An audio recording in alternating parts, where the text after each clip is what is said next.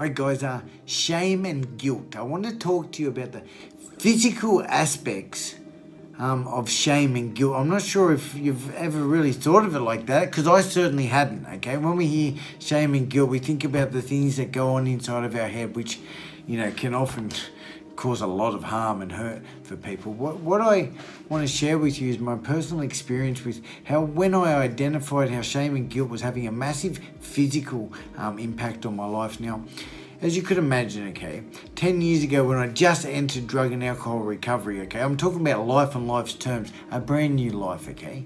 Part of my rehabilitation process was going out and visiting family every two weeks or something. Now, actually, it's not really part of the rehabilitation process. That's more part of a life, a human being thing. You know, we want to reconnect with the people that we've hurt and lost.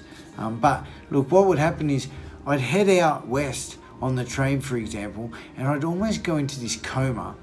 Um, of tiredness. I'd start to yawn. I'd feel very lethargic, um, unmotivated, and I'd get to my family's place and I wasn't able to be present for years actually, okay? And even one occasion my mum said to me, Danny, she said, why do you always come here and you want to sleep, okay? And that brought up a whole another level of shame and guilt for me. But a little story, okay? And you might be able to relate and understand why uh, shame and guilt has had such a massive impact for me. Imagine this, right?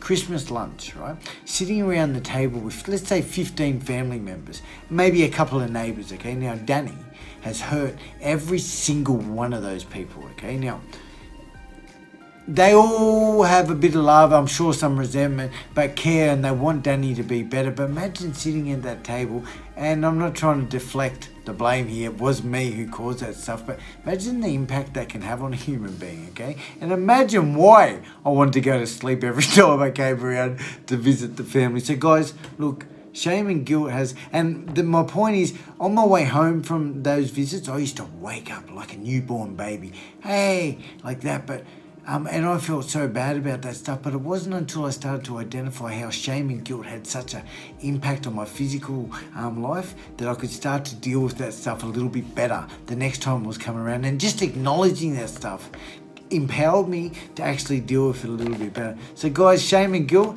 powerful thing. I'd love to hear your experience. Have you ever experienced shame and guilt in the powerful um, tired aspect like that? I'd love to hear your thoughts, guys. And until next time, have a wonderful day.